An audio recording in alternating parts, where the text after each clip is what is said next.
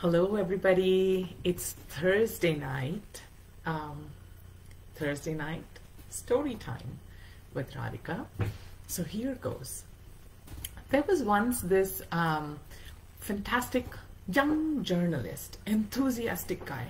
His first task was to go and interview this extremely successful businessman. So he goes and he approaches this businessman and says, Sir, tell me all about your success, your secrets to success. So the businessman, he's relaxed, he reclines in his majestic chair, and he says, Son, I have two words for you right decisions. So the journalist quickly takes his pad and pencil and notes it down and says, But how did you know to make these right decisions? This businessman leans even further, a little bit more relaxed, and says, Son, I just have one word for you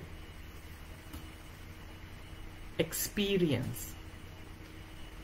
Now, the journalist really quickly notes it down and he says, But how did you get this experience, sir? So the businessman now leans forward and says, Son, I have two words. I gained that experience through wrong decisions. What did you learn from this story?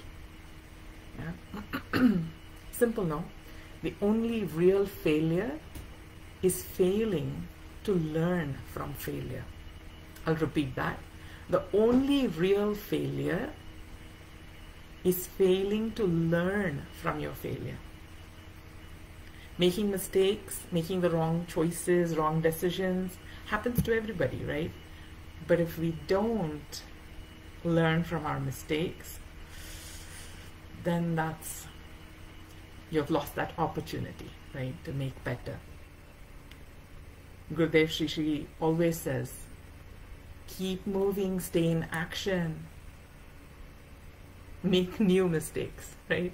Making mistakes is inevitable, learning not to repeat the same mistake is key?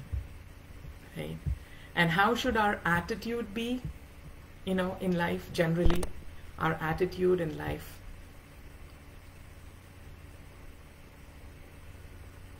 to, is to learn, to be open to learning, to say it's okay if I fail here and there, but I will learn from it and I will succeed.